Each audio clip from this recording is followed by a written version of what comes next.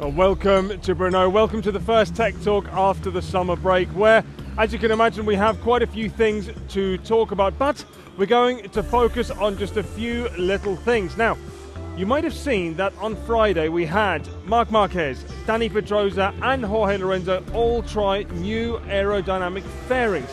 Now, why do they have these fairings? Well, those are the same concepts that you'd have with Yamaha, Suzuki, KTM, Aprilia. They've all had these things, uh, you know, quite early on in the year. Um, numerous things that they want to achieve. They want more weight on the front for a little bit more feeling and turning. It can also help a little bit uh, with setup in the braking zones, but the main thing is the anti-wheelie concept. But we've already covered that quite a bit, so I wanted to explain something to you that has something to do with anti-wheelie, but not with the electronics nor with the aerodynamics of the bike. And this all came about because quite a few people once said to me, look Dylan, sometimes when the bikes come out of a corner and go onto the straight, they kind of weave along. They do sort of almost an S shape to get to the next corner rather than taking what you might say is the shortest line, as in picking the bike up straight and then heading straight for there. So I thought I'd explain a little bit why, because there is a bit of a concept behind that. Now, we need to talk about various things, and the first thing is the center of gravity. The combined center of gravity between the rider and the bike. So let's say it's a sort of a relatively central point if you're looking at the bike from the back as it's coming out of a corner.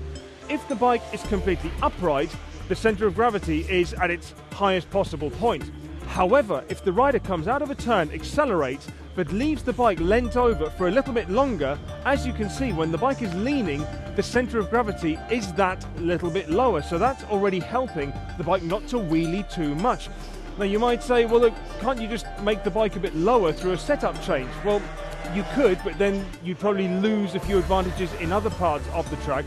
Plus, that change would be millimeters, whilst leaning the bike moves the center of gravity quite a bit more. So that's one of the reasons why you will see them almost not really being completely straight, uh, sorry, upright on a straight. Then, of course, there's the other thing. Think of the tyre. Look at the shape of a tyre. Where is the diameter the biggest? The diameter is the biggest right down the center.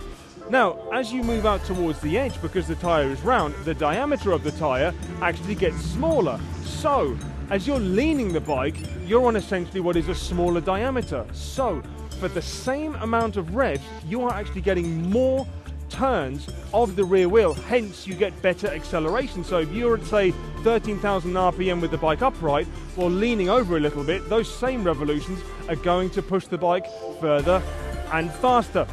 Just to relate that maybe very quickly to a real life example, if you have gears on the rear wheel of your bike, if you're in first gear, you can pedal quite lightly, but the bike's not going to move forward very quickly.